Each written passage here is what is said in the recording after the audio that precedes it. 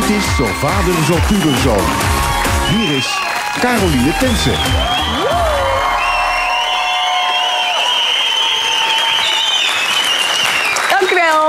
Een hele goede avond allemaal. Hartelijk welkom bij Zo Vader, Zo Puberzoon. Vanavond draait het allemaal om de band tussen moeder en een puberzoon van 17 jaar. Nou, ik heb heel veel ervaring. Het komt allemaal wel goed, maar ik vind het wel gedoe hoor, af en toe. Maakt niet uit, we gaan de jongens er maar eventjes bij halen. Hier zijn de mannen van 17.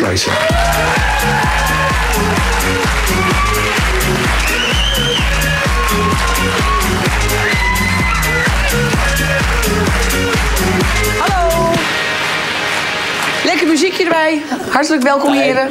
Zit jullie haar allemaal keurig? Allemaal zelf gedaan? Ja. ja. Elke ochtend voor die spiegel? Nooit de deur uit zonder gel? Ja, wel pet. Ja, met een pet. Oh, geweldig. Dames en heren, ze zitten er weer helemaal klaar voor met hun scherpe vragen. Ali B.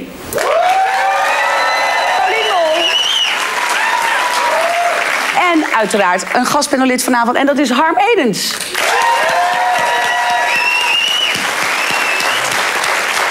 Nou, dan willen wij altijd van onze gast weten hoe die nou zelf was in de puberteit. Ongeveer die leeftijd? Ja?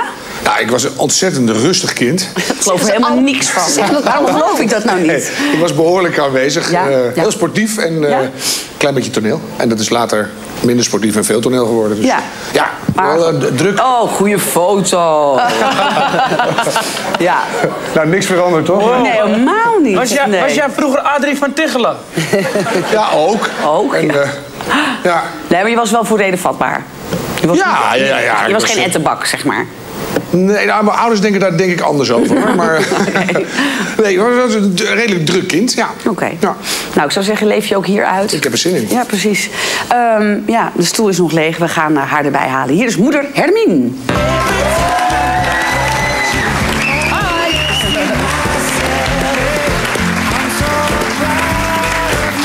Oh. Lekker nummer. Had je zelf uitgekozen Ja, dit nummer? zeker Alleen, wel. wa- Waarom dit nummer? Ja, toch een beetje de hoop van vader en zoon Ja. ook eh, ja, in het spel te hebben. Ja. Dus, en het is gewoon een heerlijk nummer. ja. En hoe is de relatie met jouw ehm, zoon? Die is op zich best goed. Alleen nu die, ja, nu goed. die ouder wordt, gaat hij natuurlijk meer zichzelf uit zijn eigen weg. Hè, maar we doen nog eh, lekker samen shoppen. Ja? Daarna nog lekker eh, even wat eten. Dat vindt hij wel gezellig. Dat vindt hij nog steeds gezellig. Ja, moeder de portemonnee vindt hij er nog Ja, wel, eh, precies. Ik wou net zeggen, want dat is de enige reden waarom die van mij met mij meegaat, hoor. Daarom. Ja, hoor. Ja. ja. Dus, eh, nee. Maar op zich heb je wel een goede relatie. En vertelt Ja, hij alles aan je? nee, nee, dat Nee? denk ik niet. Denk Oh. het niet. Ik hoop het altijd wel. Is het überhaupt een prater? Nee. Nee, hè? Nee. Dat is jammer, hè? Met meiden kun je soms wel even... Heb je ook een dochter? Nee, helaas niet. Oh, ja. Nee. Nee. Dus, Nou, goed.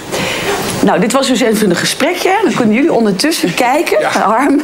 Ja, dat is lastig, hè? Dat is echt Welke wel moeilijk. zoon eventueel bij Hermine zou horen? Dat is gewoon een schot voor de boeg, noemen wij dat. Nu een schot voor de ja, boeg al. mag. Je mag meteen Ja. roepen. Mag ik nog één ding vragen alvast Nee, even? nee, of de bril even af? Mag niet af. Oh, de bril. Hele even de Hermine bril af. bril. Ja, dat mag Dat is wel. enige...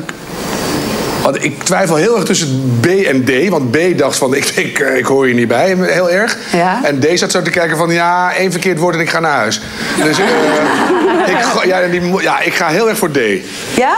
Met een B eh tussen Ja, de bril haakjes mag op voor Hermine. Ja, Oké, dankjewel. nou, je mag hem even zelf indrukken. Dan, Oh, onthoud- wat zei ik? Ja. D. Ja, je zei D. Paulien? Ja, ik weet Het is weer geen makkelijk. Nee, het is verdorie. Zo ben ik goed in dit spelletje.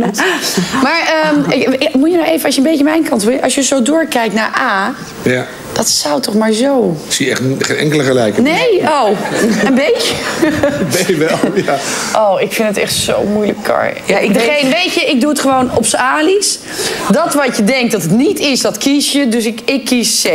Oh ja, dat is heel goed. Ja. ja. Ja, Ali heeft al een hele Ja, dat is- dat is de- de maar hij weet het wel vaker te En hij zit er vaker, Een eh, beetje vervelend. Ja. Maar ja, Ja. we gunnen het je wel, hoor. Ja, ik denk dat het sowieso dat eh, als er eh, de, dat een van die zonen hoe dan ook een probleem heeft. Ja? Ja, want eh, als je moeder een coolere kapsel heeft dan jij, dan. Ja, dat is wel waar. Het is wel een pittig kapsel. ik zie ze al samen shoppen. Dat is het enige waar ze het over eens zijn, is de gel. Dus dan denk ik, Dus ik, eh, ik denk, ja, wie zou zijn moeder nou willen overtreffen met de kapsel? En dat is dan toch A. Die heeft Ja. toch... eh Ja. Die denkt van, nou, maar als jij gek gaat doen, nou, dan, eh, dan gaat het bij mij allemaal de kant op. ik zeg A, voordat ik nog meer vrienden ga maken. Ja, dat is misschien wel verstandig. Oké, we gaan beginnen aan de eerste vragenronde. Jullie mogen wel vast je koptelefoon even opdoen. Kijk hoe ze dat doen met het haar. Dat is... Oeh, ja. Zo van achter. Ja, kijk. Eh, we gaan eh, beginnen bij Ali. Jij mag de eerste vraag stellen vanavond. Ja. Nou, mams, eh, jouw zoon die gaat met een groep vrienden naar de club, naar de discotheek. Eh, en eh, de minimumleeftijd is eh, 18 jaar om binnen te komen. Nou, al zijn vrienden zijn 18 jaar, behalve jouw zoon, die is 17. En eh, dus in die club is een meisje waar die helemaal verliefd op is. En jij vindt het ook een leuk meisje. Jij zou ze eigenlijk wel samen willen zien. Dus eh, hoe zorgt jouw zoon ervoor dat hij toch binnenkomt? In die club. Ja. Ik ga de muziek erop zetten bij de mannen. Nou, hij gaat tussen de jongens van eh 18 in, gaat hij gewoon tussenin lopen. En eh, dan komt hij best wel binnen. Ja, maar hij is Doe toch het alsof je er... eh, of die, Of hij gewoon erbij tussenin is. maar jij hebt hier ervaring mee, want hij... nou, het ik, nou, ik denk dat hij wel binnenkomt dan, ja. Ja. Jij denkt, Ja. hij, hij lijkt toch niet op een Marokkaan, dus die komt... Nee, bedoel ik. bedoel ik. Enorm, ja. Is, is het Is een logisch. Ben je al met voordeel. één been binnen? Hij gaat ertussen lopen, dat is echt alles wat hij doet. Ja, gewoon tussenlopen en dan loopt hij gewoon met de flow mee. Geen eh, pasfoto's, straat knippen, da- Nee, data, eh, nee. geboortedata veranderen, nee? Nee, als haar moeders graag willen dat hij met dat meisje dan wat kreeg, ga ik nog niet mee eh, in die, eh, in die eh, dingen mee van eh, frauderen eventueel. Nou, maar stel je voor, Dat- hij doet het los van ja dat jij niks weet. Zou hij dan wel doen? Nee, Ook niet. nee.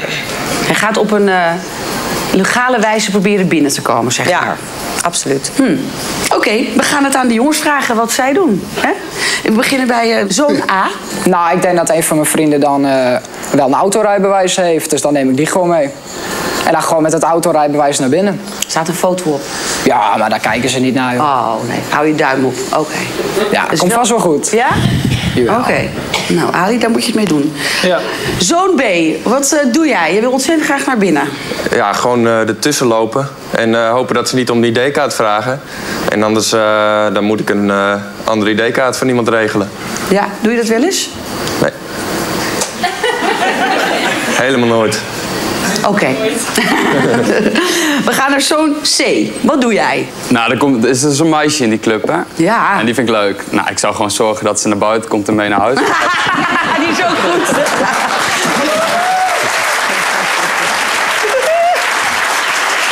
Oh, oh, die is wel goed. Zoon D, wat doe jij? Ik zou gewoon zeggen dat ik mijn idee vergeten was en hoop op het beste. Ja, dat is het. Ja. Oké. Nou, Ali, kan je er wat mee? En ik kan er een heleboel mee. Ja. Ja? Ja. Oké, goed zo.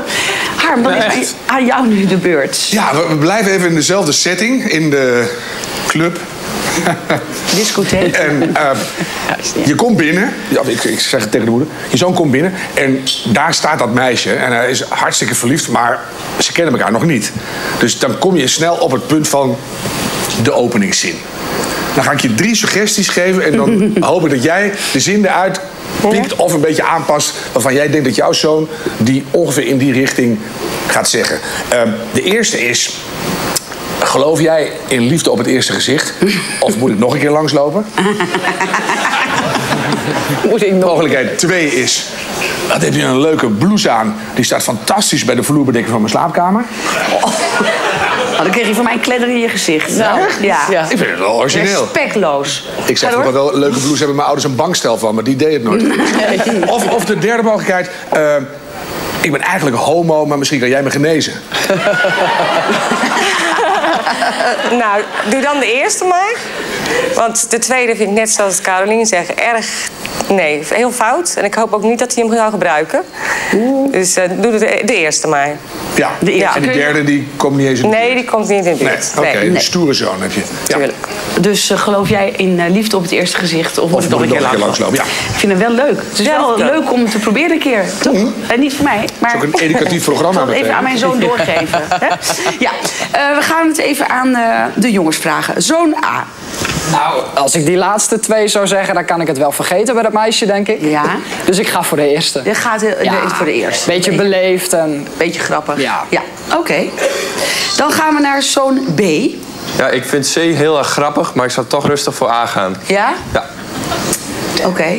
En we gaan naar de buurman, zoon C. Nou, Welke openingszin gebruik jij? Nou, de tweede openingszin durf ik niet meer te zeggen nu, dus dit dan maar de eerste. Nee, maar je moet je niks van mij aantrekken, want ik ben je moeder niet, ik ben er niet bij. eh. Nee, dan de eerste, ja. ja, toch wel de eerste? Wat is jouw eigen openingszin? Welke gebruik jij vaak? Ik gebruik geen op- openingszin eigenlijk. Nee? Nee.